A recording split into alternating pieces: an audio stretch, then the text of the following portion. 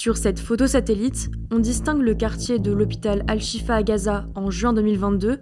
Voilà ce qu'il en reste en avril 2024. La destruction de la bande de Gaza atteint, après six mois de guerre, des niveaux considérables.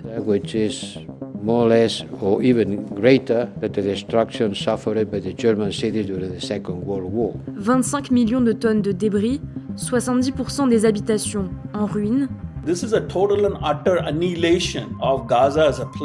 alors nous nous sommes demandé si la reconstruction de ce territoire sera possible et qui en supporterait les coûts. Ceux qui dans la région ont à la fois la volonté et les moyens, ce sont notamment l'Arabie saoudite et les Émirats arabes unis. Mais d'abord, il faut rappeler comment Gaza s'est transformé en un gigantesque champ de ruines.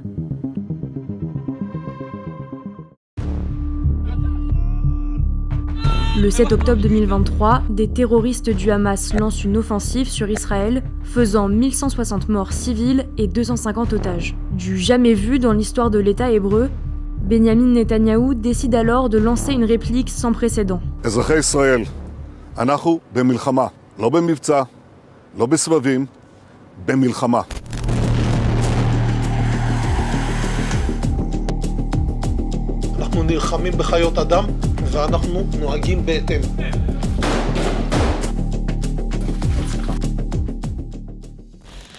Dès les premières semaines, comme on le voit sur ces cartes, les tirs de missiles se multiplient sur toute la bande de Gaza.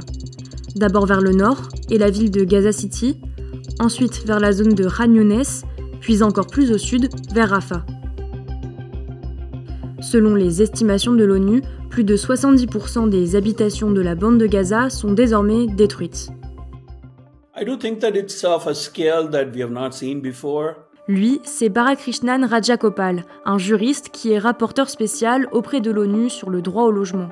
If you look at, for example, the destruction of Mariupol and Ukraine, in one whole year of conflict, Mariupol suffered a destruction of about 32%. And Mariupol, you know, while it, is, it was destroyed in a very severe way, people in Mariupol could still flee to other parts of Ukraine. Ukraine is a large territory, but that's not possible in Gaza.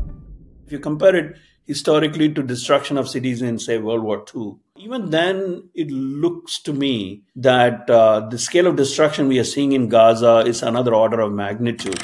For example, if you consider the destruction of homes in Rotterdam or in Dresden, about 25,000 homes were destroyed. But then in Gaza, we are already over 70,000 homes and over 240,000 severely damaged.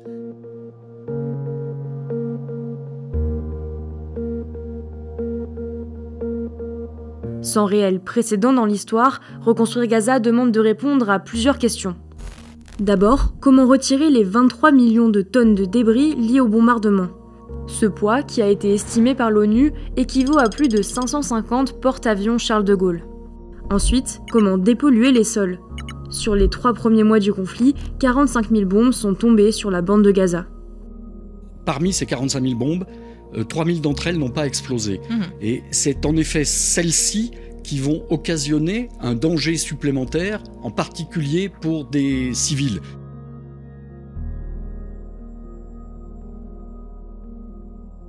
We're talking about many, many years of clearance of debris, rebuilding of systems, anti contamination procedures, not to mention at the same time making sure that there is enough temporary housing and uh, enough access to food and water for the people of Gaza to survive, as well as, of course, the re establishment of schools and access to education for the, especially for the younger people of Gaza, because their future is at stake.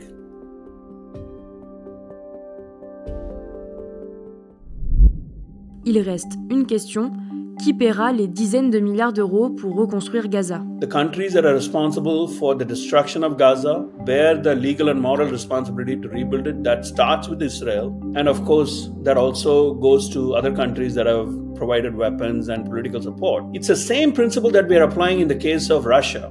Selon cette lecture, ce sont donc les États-Unis, le Royaume-Uni mais aussi des pays d'Europe, dont la France, qui devraient mettre la main au portefeuille. Alors, la, lecture strictement euh, juridique euh, de, de, la, de la reconstruction de, Gaza, elle ne, elle ne prévaudra pas. Elle ne prévaudra pas pour une raison assez simple et historiquement, euh, j'allais dire, sempiternelle ou éternelle, c'est que c'est le politique qui prédomine. Selon Frédéric Ancel, docteur en géopolitique et chroniqueur à l'Express, les sponsors principaux de l'après-guerre seront à chercher du côté de l'Arabie saoudite et des Émirats arabes unis. Mais il faudra, avant cela, franchir quelques obstacles politiques. Moi, je ne connais pas de territoire, ni euh, à Verdun, ni au Vietnam, ni en Allemagne, ni au Japon, ni à Hiroshima en particulier, où les gens n'ont pas pu se réinstaller. Les questions matérielles, c'est les moins problématiques. On sait tout faire aujourd'hui en termes de déminage.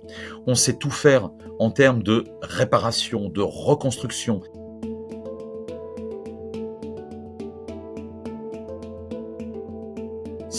On assiste à la chute militaire du Hamas qui est en train d'être faite, à l'acceptation par l'autorité palestinienne de prendre ses responsabilités à nouveau dans la bande de Gaza. Alors moyennant bien évidemment soutien absolument massif de la communauté internationale, naturellement. 3. Euh, la chute du gouvernement israélien actuel. Écoutez, tout est possible.